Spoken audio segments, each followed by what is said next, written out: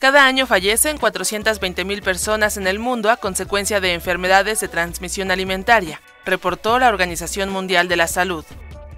De acuerdo con Tedros Adhanom Ghebreyesus, director general del organismo, el número de brotes de enfermedades de transmisión alimentaria es cada vez mayor.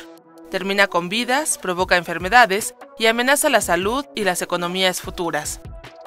En el marco de la segunda reunión mundial de la Red Internacional de Autoridades en materia de inocuidad de los alimentos, prevista del 9 al 11 de diciembre en Abu Dhabi, la OMS alertó que los alimentos insalubres que contienen bacterias, virus o sustancias químicas son responsables de más de 200 enfermedades.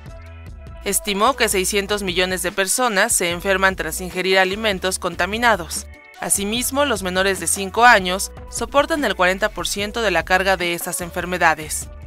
El organismo señaló que se ha detectado un aumento considerable en el número y la escala de las emergencias de transmisión alimentaria, debido a la mundialización del comercio de alimentos.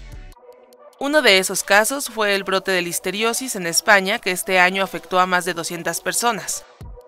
La OMS exhortó a los países a adoptar medidas drásticas para proteger la salud de las personas y salvaguardar las economías nacionales y mundiales de los efectos de estas enfermedades y también sugirió invertir en tecnologías para rastrear las emergencias que amenazan la inocuidad de los alimentos.